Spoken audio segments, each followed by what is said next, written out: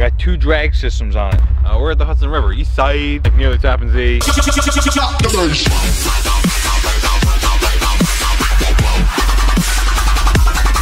And the beat goes.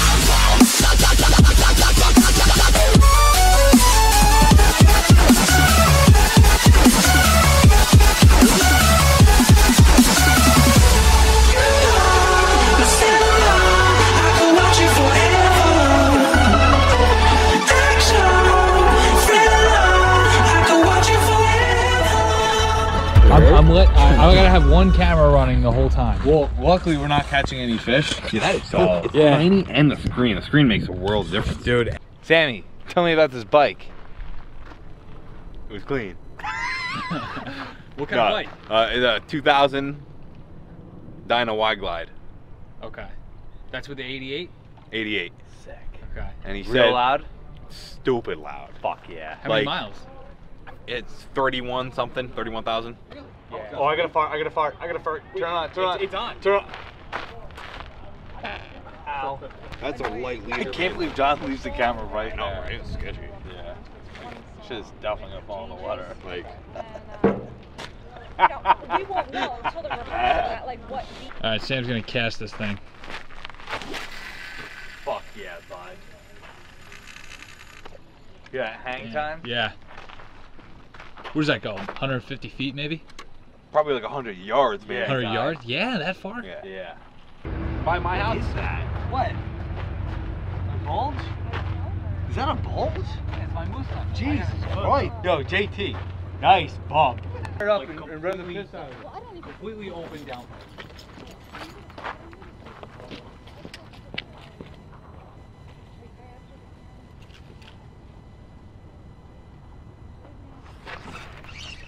What the fuck? You on? No.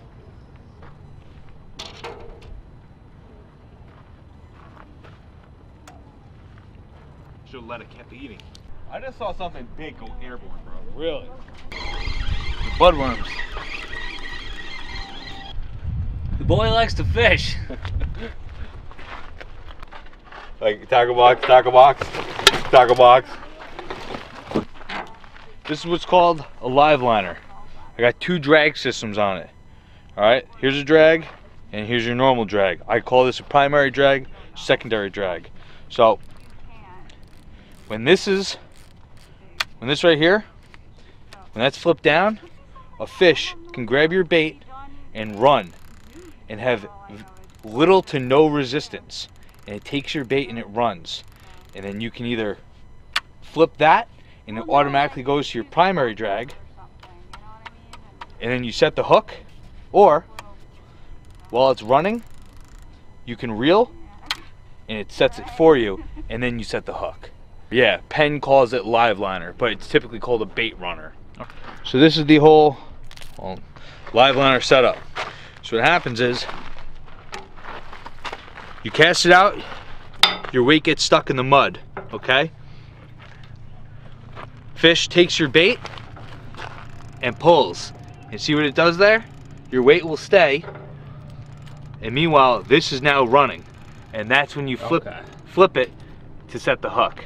I just kind of mash it on there a few times. Then you got to You got to put that song in. Time keeps on going, going, going. keeps on going, Going. into the No. future. Dude.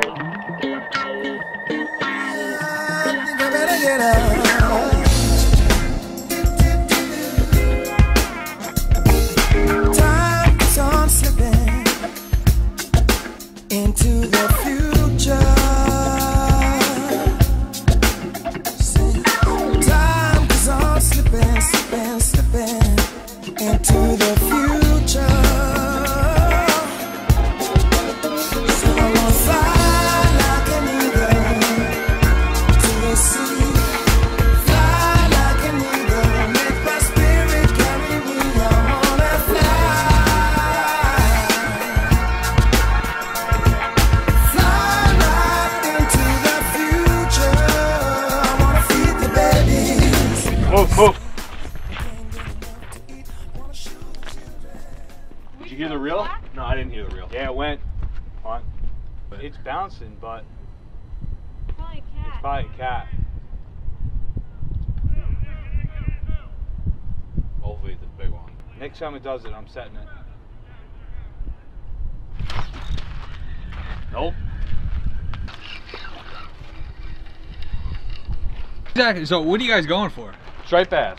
Straight Uh, bass. I'm going Also for known sturgeon. Stripers. Yo, in Maryland, they call them rockfish. Rockfish? Like if you call them anything other than a rockfish, they know that you're not local. I was like, wow, that's interesting. So and this is the striper run right now, right? Which one?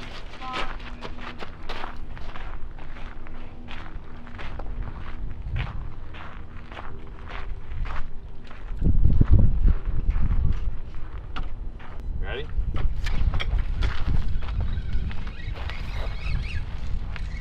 If it is, it's something tiny.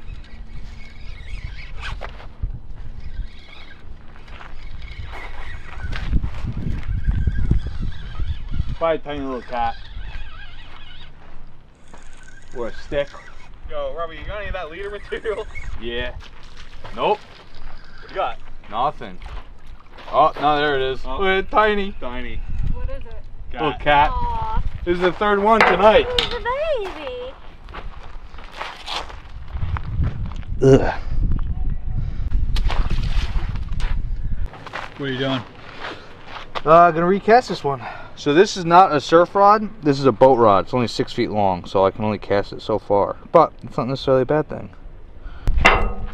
This rod is extremely stiff. Wait.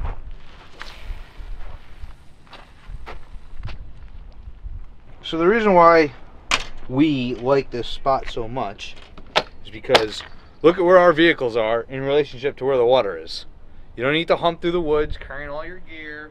You reverse your truck. You walk eight feet and you're fishing. That's what's so great about this spot. Second thing, there's a clam bed typically out where you cast. There's a huge bed of clams. The fish love those clams. So, that's giving them a reason to already be here because they're eating the clams.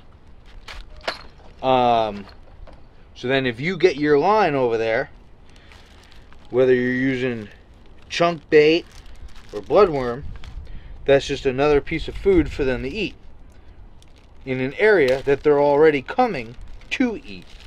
Uh, we've been coming here a few years now. What, maybe like four years? Yeah, probably Sammy? three or four, yeah. So there's a striper migration map. It's called On the Water.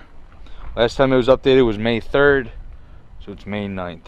So it'll probably be updated very soon. You see it? So this is a chart. Tells you what size fish uh, are in where on the water. We are on the Hudson. This is the Hudson. See how it's all red? That coordinates with this chart, which is 30 pounders. So currently, the 30 pounders are in the Hudson. Swimming up right now. Right now, they are here. We set up the little rod over here to catch uh, eels or uh, perch, cats, anything. Anything. And But so it's- it's- Sam, you're getting But ready. it usually gets more hits than everything else. Yeah, we're always catching fish on that and nothing else. Sam, you're setting up the little rod. I'll set up. Now an eel, God, hopefully we can get an eel on camera. Eels are disgusting. Yeah. They slither up your line and they're That's ugh. gross. Yeah, this dude was like, "Oh yeah, I got a special eel glove." And he, he never used it before. the fucking thing was so slimy once he was Yeah. done with it. It was disgusting. It climbed up his arm like to yeah, his skin. it went underneath of his sleeve and up through his into his arm. It was so gross. Yeah, I got a special eel recipe. Yeah. Hey, knock that off It's Rodrigo and Jose. before I hold your head underwater Okay. until your legs stop kicking. yeah, St. Croix is a good rod. Yeah, St. Rose. Too bad he always bird's nest with that thing. Nah, dude, I got good. What's bird's nesting? With the when you don't know what you're doing and basically the line comes out faster than the reel can spin and it just and you basically are cutting everything and redoing it The bait casters have a learning curve.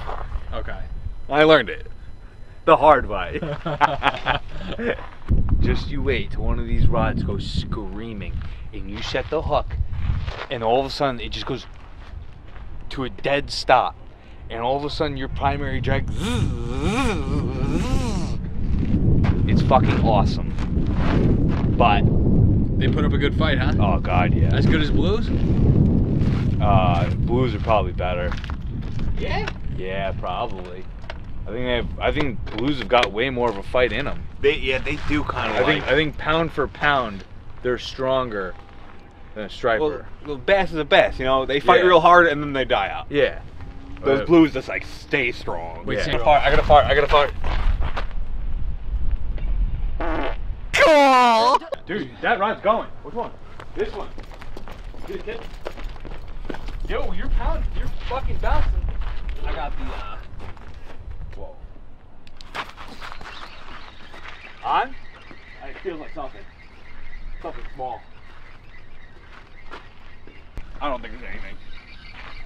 I'm breaching. Nothing.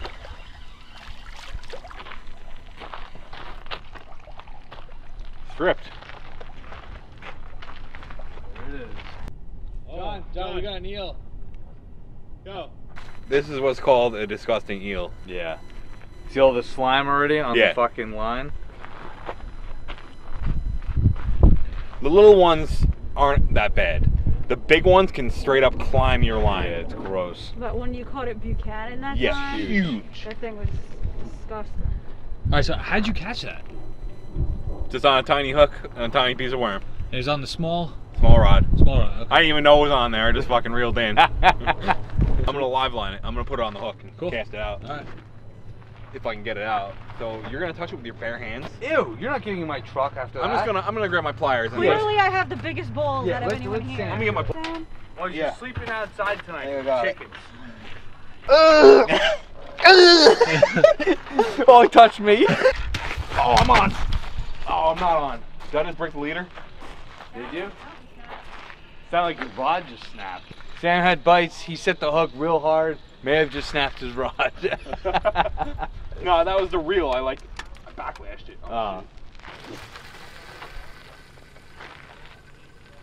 See, why don't you give him a little update about that rod and reel combo you got there? This rod and reel combo is probably like 20 years old, It's classic.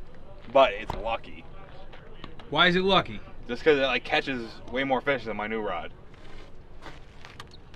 It's So an old Penn reel, and it's just, it just won't die. Yeah. Old Penn, like Was that better bearings? I don't No, bearings are probably shot. He probably has no bearings. Probably bushings. It was a terrible day of fishing. We caught basically nothing. So I mean, this is like typical Hudson fishing. where. No, so we've had some days where it's epic. Where we're hooking up one after another. You throw your your line in the water, and two seconds later, you're on a fish again. And we've had other days where Sam and I have been here for 12 hours and have never even set the hook. It's hit or miss. I don't know. It's fishing, not catching. It's not always like, this is sick. Most of the time, it's this. Are we ever gonna catch a fish? So what if people are like, "Yo, where's the content?" What would you, what do you say to them? Have you ever been fishing?